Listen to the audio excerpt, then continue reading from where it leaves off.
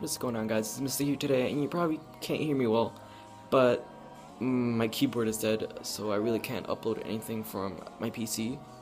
But I just want to go ahead and say Happy New Year's Eve, and if you're watching the New Year's in 2016, Happy New Year's.